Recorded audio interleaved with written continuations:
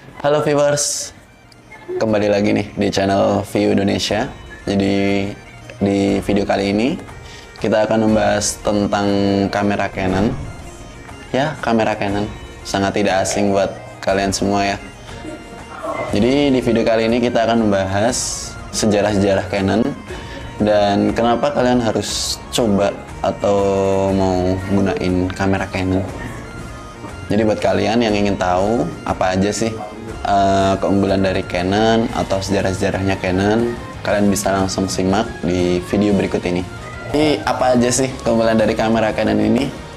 Sebelum itu kita akan mengespil uh, sedikit uh, sejarah dari kamera Canon. Jadi buat kalian yang ingin tahu sejarah lengkapnya, kalian mungkin bisa cek di channel View Indonesia dan kalian bisa langsung lihat saja di video-video yang lain gimana sih sejarah-sejarah Canon dengan lengkap. Nah, kita akan mengspil sedikit uh, sejarahnya.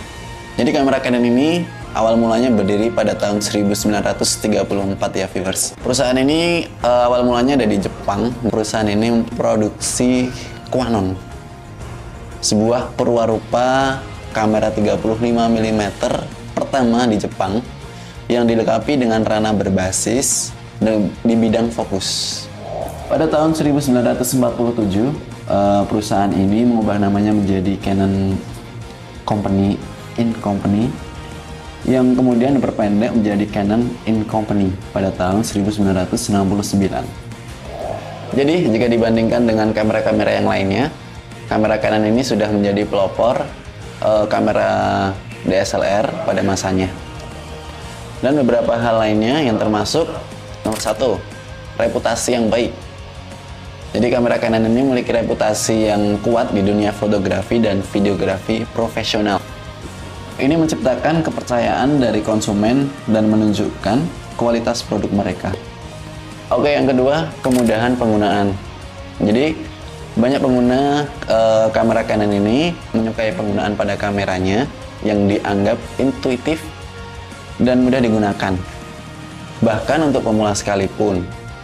Ini membuat proses belajar uh, di dunia fotografi dan videografi ini sangat mudah dan sangat membantu.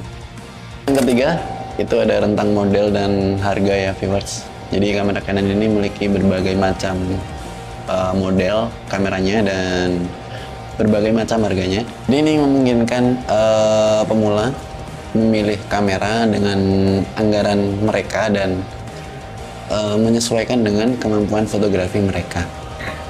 Oke, okay, selanjutnya Canon dikenal dengan kualitas gambar yang sangat baik, terutama dalam fotografi dan videografi.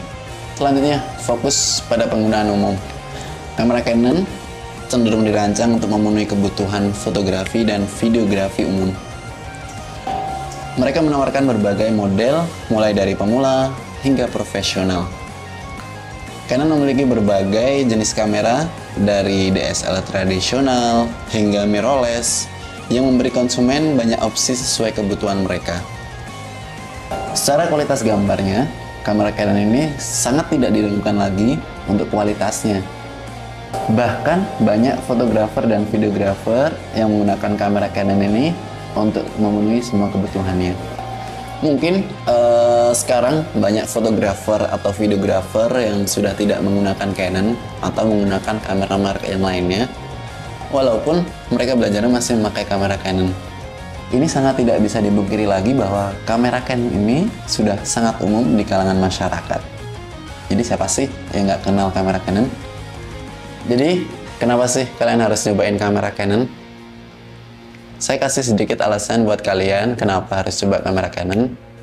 Di samping penggunaannya yang sederhana, kamera Canon DSLR ini atau yang mirrorless ini harganya sangat terjangkau ya viewers. Jadi buat kalian yang pelajar atau yang ingin sangat awam dalam kamera, kalian ingin mencoba-coba tentang atau mengulik kamera, kalian bisa coba menggunakan kamera Canon ini.